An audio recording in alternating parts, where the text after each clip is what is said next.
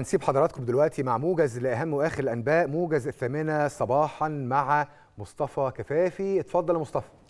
شكرا لك يا محمد الثامنة صباحا بتوقيت القاهرة الخامسة بتوقيت جرينتش موجز الأخبار من التلفزيون المصري. أهلا بكم.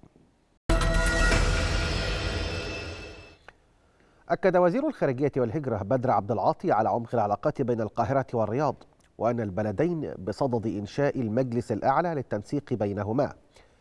وخلال مؤتمر صحفي مشترك مع نظيره السعودي الأمير فيصل بن فرحان قال عبد العاطي إنه بحث مع نظيره السعودي تطورات الأوضاع في الأراضي الفلسطينية المحتلة واكدا على ضرورة وقف إطلاق النار في قطاع غزة.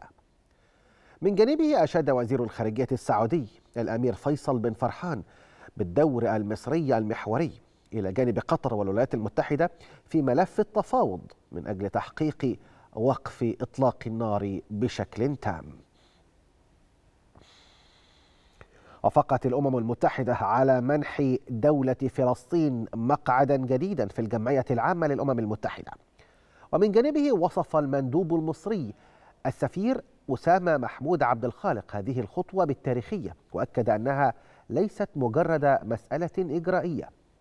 وينص على أنه اعتبارا من الدورة السنوية التاسعة والسبعين للجمعية العامة للأمم المتحدة يمكن للفلسطينيين أن يقدموا مباشرة مقترحات وتعديلات كما يمكنهم أيضا الجلوس بين الدول الأعضاء حسب ما ينص الترتيب الأبجدي. وصلت قوات الاحتلال الإسرائيلي غاراتها العنيفة على مناطق متفرقة بقطاع غزة. وقد أعلن الدفاع المدني بالقطاع عن انتشال سبعة شهداء من بينهم ثلاثة أطفال في قصف استهدف منزلا بمنطقة جباليا الواقعة شمالي القطاع. أما في جنوبه فقد أصيب عدد من الفلسطينيين في قصف إسرائيلي استهدف منزلا في بني سهيلة الواقعة شرقي مدينة خان يونس نددت الأمم المتحدة بتوقيف إسرائيل تحت تهديد السلاح قافلة تابعة للمنظمة الأممية في قطاع غزة لساعات طويلة عند نقطة تفتيش تابعة للجيش الإسرائيلي. وقال ستيفن دوك يوراك المتحدث باسم الأمين العام للأمم المتحدة إن سلوك القوات الإسرائيلية على الأرض يعرض أرواح الطواقم الطبية والإغاثية التابعة للأمم المتحدة للخطر. وأشار إلى أن الواقعة تشكل أحدث مثال على المخاطر والعقبات التي تواجه العمليات الإنسانية داخل القطاع. قالت بعثة الأمم المتحدة للدعم في ليبيا إنها ستستأنف اليوم تسهيل المحادثات بين الأطراف الليبية المتنازعة في طرابلس لمحاولة حل أزمة مصرف ليبيا المركزي. كان مجلس النواب في بني غازي الواقع بشرق ليبيا والمجلس الأعلى للدولة في طرابلس في الغرب قد اتفقا هذا الشهر على تعيين محافظ لمصرف ليبيا المركزي مما قد يؤدي إلى إنهاء صراع للسيطرة على عوائد البلاد النفطية.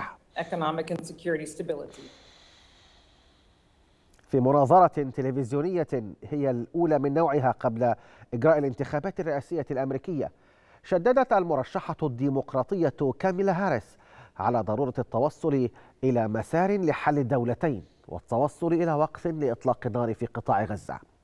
وحول الوضع الاقتصادي أكدت هاريس أن خطة ترامب للاقتصاد ستجعل الولايات المتحدة بحال أسوأ وأكدت أنها تريد تخفيض الضرائب ودعم الاقتصاد. وأشارت إلى أن ترامب ترك فوضى كبيرة في الولايات المتحدة وساعد الصين على تطوير صناعتهم. من جانبه رد المرشح الجمهوري دونالد ترامب على أن إسرائيل ستختفي بعد عامين إذا انتخبت الولايات المتحدة هاريس رئيسة للبلاد. وأكد ترامب أن الديمقراطيين أهدروا مليارات الدولارات وأن الإدارة الحالية خلقت كارثة اقتصادية. وأوضح ترامب أن 21 مليون شخص دخل إلى الولايات المتحدة في عهد بايدن وأن خطط الهجرة السيئة دمرت البلاد.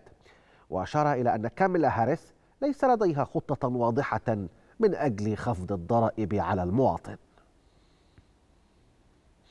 نهاية الموجز عودة لاستكمال باقي فقرات برنامج صباح الخير يا مصر.